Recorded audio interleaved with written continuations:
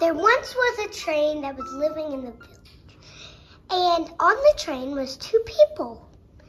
They were very nice and kind, and one and the person had a dog.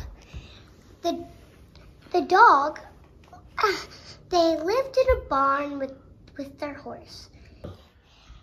Um and they were sitting on the porch and the old woman said, I must go inside to get my horse. And in she went.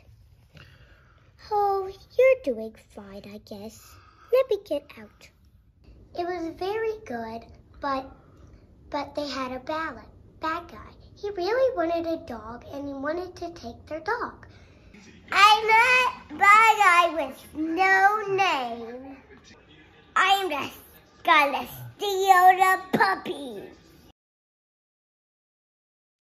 And then she said, Oh no, my puppy is missing. I must go find her. And she walked and she walked, walked more and more. She walked more and more and more, all the way to the bad guy's secret hideout. And there she fought the bad guy. I hid in the doggy and you can't find it.